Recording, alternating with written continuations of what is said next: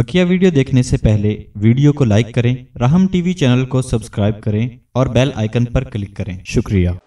तभी एक अल्लाह वाले जब दुआ करते तो कहा करते थे अर रहमान अर रहमान अपनी खास रहमत मुझ पे नाजिल फरमा।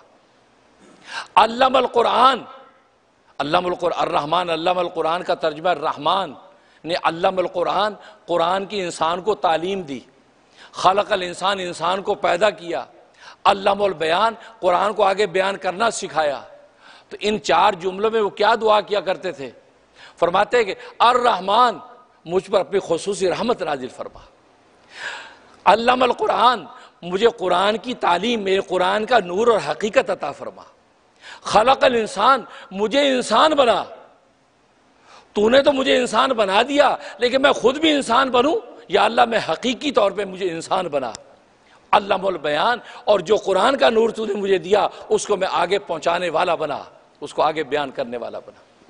तो देखो, खलकल इंसान भी, अभी तक इंसान ही तो मांग रहे, मुझे इंसान बना।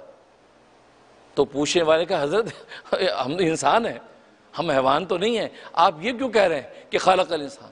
कहा कि, नहीं, अल्लाह ने जब यहाँ पर ये नेमत के मुकाम पर, यानी एक तो और फजीलत के मुकाम पे ज़िक्र किया, खालकल इंसान इससे तुम्हें इंसान बनाया अल्लाह ने। इसका मतलब इंसान बनना को बहुत ऊँचा मनसब है को ऊँची को चीज़ है, और हम उस मुकाम पे पहुँचे नहीं हैं, इसलिए मैं अल्लाह से इंसानियत माँगता हूँ, या अल्लाह हकीकी इंसान बना।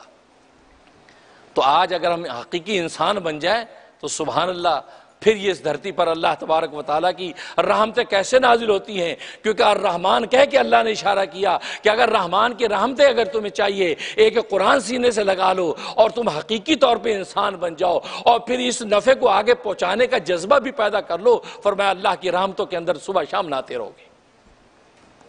लेकिन आज हमें इसकी फ़िक्र और परवाह नहीं।